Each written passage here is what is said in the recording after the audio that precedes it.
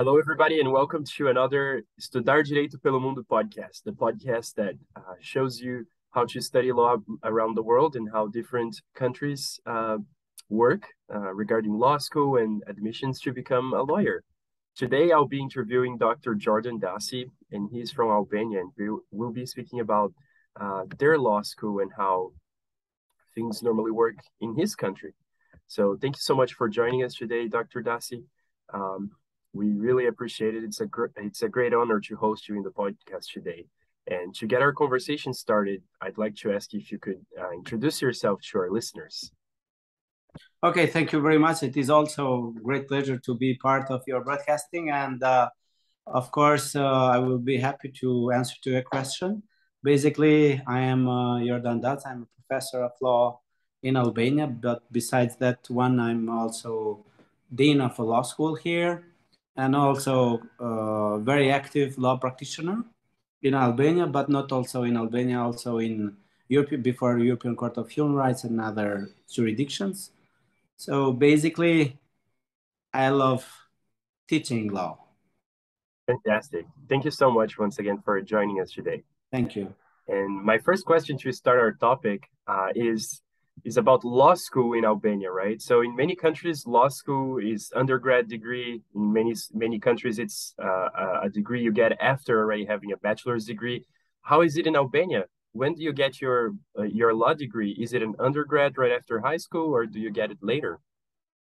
Uh, well, Albanian uh, higher education system, especially legal education, has undergone through many changes in last uh, decades we started with a very traditional way of uh, providing uh, law degrees to our students with four years law degree study course. Uh, this was before the so-called Bologna Declaration process. After the Bologna Declaration, we introduced uh, a, a, bachelor degree of three years, followed by a one-year uh, professional master degree or two years uh, scientific master or research master, let's say. Uh, but somehow, after testing of several years, now we have another new system which has uh, an integrated diploma, which is three plus two. So we have a five years law degree, which includes also the master degree uh, as part of the graduation. It means like five years uh, multiplied for 60 ECTS uh, or credits. Uh, which allows you to attend any PhD degree after that. Of, of course, once you meet also other criteria, or you can uh, choose to go to the magistrate school, which prepares uh, two uh, categories, prosecutions and judges, which is going to be another three years, but only one year is a full class uh, study but you can choose also to be a lawyer, which is obligatory that after one year in practice, so once you are graduated, you have to go through one year internship, which is registered internship. Uh, then you have to go to one year full class uh, study at the National School of Advocates. And after that, you are qualified for the bar exam, and if you pass the bar exam, you are licensed as a lawyer. While for going to the magistrate school, you need to have three years of practice as a lawyer or as a legal specialist uh, once you are graduate. Wow, fantastic! That's very. This is the the course, and uh, normally this is how it goes right now in Albania. Mm -hmm. That's fantastic. That's uh, that's awesome, especially because so it is a graduate degree now because it includes it includes both bachelor that we used to have and also master degree. Fantastic, fantastic. It's very interesting to hear that because it's uh, it, as we speak to people in different countries, it's always interesting to hear what are the differences, of course. But then when you get something that is very different, that's even more amazing. And and I really think it, it makes a lot of something, sense. Something very special also we can say is that according to the law, 70% of the curricula is unified over all Albania, regardless of being private or public institution. This is because the law somehow needs to be unified course. It doesn't have, I mean, the autonomy of uh, higher education institution can still be respected, but still we need to be sure that lawyers are somehow equally educated somehow. But they have 30% of their courses to define by themselves according to their priorities and also other characteristics. Fantastic, and and that uh, actually led me to would lead me to the the next question. So, uh, once you are in law school, do you have elective disciplines or elective courses you can choose to take? We have or normally all the curriculum is mandatory. We have uh, we have three types. We have obligatory, which is most of the courses are obligatory. Then we have optional. So you have, let's say, one, two, three, or uh, four courses that you have to pick up one for sure and you have also elective that you are not obliged, but you can still uh, have some additional credits and courses. This is uh, our system. Fantastic, fantastic. And, and what about uh, a dress code? Do you have any kind of dress code for law school students? Well, we don't have proper dress codes, but we have some dress attitudes, let's say codes in general, which means that students somehow those are ethics issues. So you can hardly find them in a very detailed written rules but of course they have to use uh, appropriate uh, dressing so the, the, the, education process will not be somehow jeopardized by perfect this yeah. kind of perfect but it, it, it's not like mandatory to wear a suit no example. it is not mandatory but somehow we all understand what means it is appropriate or not. So it is uh, based on a very general understanding of society on uh, the way how we behave. Excellent, excellent. Okay. Well, uh, you, you mentioned a little bit about the track to become a lawyer, right? Uh, uh, about uh, finishing law school and then going into to another year of practice, right? Uh, do, do you have a bar exam in between that, or do you go straight uh, from law school into practice? No, once you are graduated, you have to find a lawyer who will, uh, uh, let's say, undertake the responsibility to be your supervisor. He will authorize you to be registered as he or uh, her, as his or her assistant. And then you go to the bar association, you get registered uh, you get the assistant lawyer uh, license, and then you are allowed to practice for some minor, for example, contraventions, we call them, or torts in some other uh, legal dictionaries. Uh, but with the permission of the lawyer, and also once the court allows you. Otherwise, you are not allowed to represent any client, and you can just uh, work under the strict supervision of the lawyer uh, that has accepted that duty. After one year, and you have to attend the, the school of the, at the same time, you have to attend the school of National Advocacy School, where you have uh, obligatory courses, and of course, you have lectures like uh, on a regular base. Then uh, you are obliged to be registered for the national bar exam, and if you meet the minimum, uh, uh, let's say, criteria, or the points. If you reach the minimum uh, threshold of the points, you get licensed as a lawyer in Albania. Fantastic, fantastic. All right. Um, we do allow also foreign law graduated students to to uh, participate in our uh, advocacy system. They have to attend also the School of uh, National Advocacy, and they have to also to pass the exam.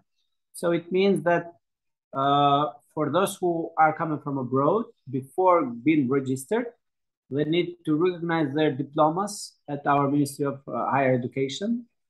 And after that, they are allowed to be registered, and so they can just uh, finish. But they are not allowed to do this in other languages instead of just Albanian language. Okay, perfect. Do, do universities sometimes uh, in the law school do they offer any classes that are in english or other languages or are normally all courses in albanian as well now we do have uh, some universities who use english as a language of instructions they are private but also in other uh, private institutions or including some few cases in public institutions, they do use English in some uh, courses, but there have been also some attempts to have some uh, English speaking master programs in uh, law school, in public law schools. But so far, I don't think that they have uh, achieved that one because of also the lack of students who have had interest to apply for that course. But somehow also the the academic staff, I think it's not fully ready in every institution to provide that things, but there are institutions who are able to provide uh, studies in English and also using also uh, literature in English as well. Okay, fantastic. Um, we we just... are a population that we speak many foreign languages, and English language is very widely used among academicians. So we have very uh, numerous numbers of academicians and other professionals who speak very well English. So perfect. That's amazing. It is not a matter of barrier, but it is all a matter of demand and also offer as well. Fantastic, fantastic. Uh, is Albania in uh, a common law country or a civil law country then? No, we are a civil law country. We don't have any feature of uh, common law. Uh, I would say we are based on Roman and German tradition, having some very original Albanian roots as well. Uh, I can say that, for example, in the entire world, uh, a civil institution of the right to pre-buy something is originally from Illyrians or our dissenters. Because uh, of that, uh, Romans, when they occupied Illyria, Illyrians, they could not fully run the country as long as they couldn't have the ownership over the land because Illyrians used to pre-sell the land among each other, not to sell to a third. So this is part of the civil law or every, let's say, civil law in general fixture now that uh, it is the right to pre-buy something, and this is originally from Illyria, from that's Albania, awesome. Wow, that's amazing.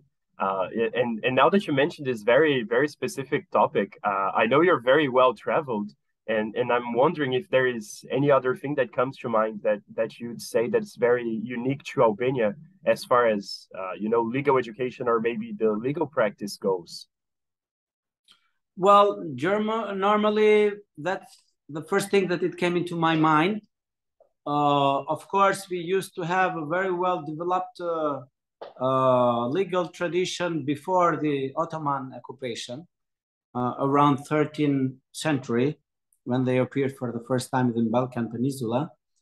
And we have been having like Shkodra, Durrës, or some other cities, medieval cities they were fully equal, comparable with uh, Monaco, Venice, and other very well developed uh, medieval cities. But because of Ottoman occupation, this civilization or this tradition stopped from being uh, practiced anymore, and the situation goes on for 500 for, for 500 years, which uh, we have been under the occupation of Ottoman Empire.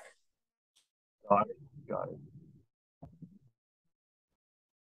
uh, our legal tradition uh, changed, and for it remained like this for 500 years. And after the independence that we gained in 1912, Albania started adopting the Western tradition of uh, legal system, ba basically mostly, mostly let's say, based on uh, Swiss, French, German, and Italian tradition.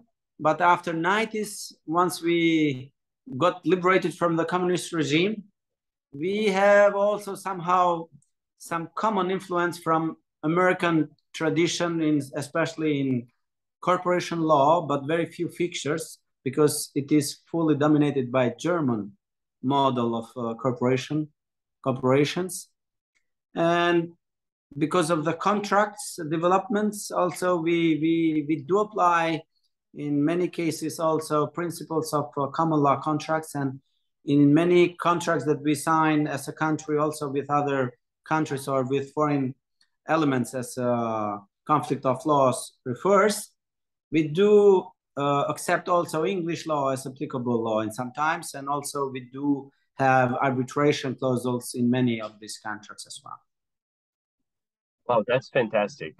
Yeah, I think that that covers most of the the questions I normally ask people from from all over the world. Thank you so much, um, uh, Dr. Jordan, for your time for to speak with us today, and I just would like to really thank you and appreciate you for your time. And um, whenever you you come to Brazil, please make sure to stop by. I'll be happy to visit Albania in the future. So thank you once again. Thank you from your side as well. Let me just add a few things, like in a very quick manner, such as since we are part of uh, the European integration system and we expect somehow very soon or maybe a little bit later to be part of a European Union, our legal system it doesn't differ much from uh, legal uh, European legal system because of the so-called process of approximation of legislation with EU. So most of our legislation is under the process of uh, getting approximated with EU legislation, and this covers most of the fields, including also criminal law. And we are friendly country towards international law in general, which means that by the, our constitution, international law precedes over our national law in many aspects. Uh, and uh, of course, uh, all foreign awards, court awards, or uh, uh, let's say judgments all over the countries, as long as they are delivered by courts which are legally formed and they independent they are acting in independent manner and through a very fair process as provided in the European Convention of Human Rights, we do accept them and we uh, enforce them in our country as well. That's fantastic. Thank you so much for adding that. Uh, I feel that that Thank adds you. a lot to to the understanding. Thank you. Fantastic. Well, thank you guys for listening and tuning into this podcast, and we'll see you in the next episode.